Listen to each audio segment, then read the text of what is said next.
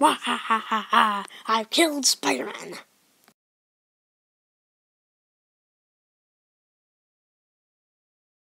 Do-do, do-do, do-do, do-do, do-do, do-do! Bye!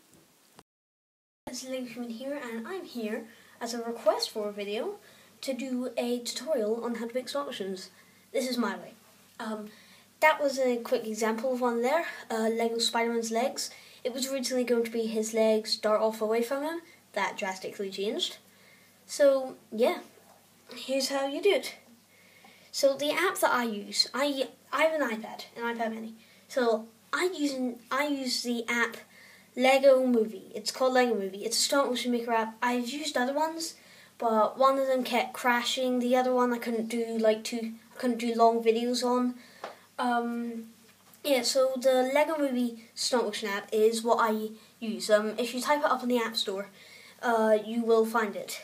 Um, yeah, so I use that, and basically it gives you instructions on how to do it. but if you want to know really how to take pictures, uh, this is how you do. it. So when you go in the App Store, you'll type up Lego Movie, which is in the top left-hand corner. And if you find, if you look at it, you'll see that. You want to press that. So this is the home page. Now you can either make a movie or go into a movie gallery. So I'll go onto the movie gallery, and you want to press the thing with the little circle there. So this, I've put my title in, and it's called Tutorial, made by Lego Legohuman. So this is the front page of it, and this is basically the tutorial. Now that obviously wasn't a full tutorial, that was just how a Lego man walks. And you do that, but just over and over. Now I made the speed slower so you could basically see what it is.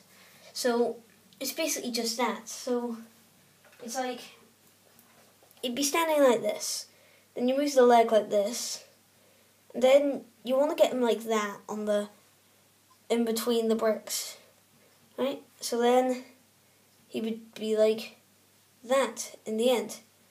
And then you do that, and then that, and it's basically just that all over, over and over. So that's how he walks. But now we go into my specialty, how to do fight scenes in Lego. I'm really bad at that.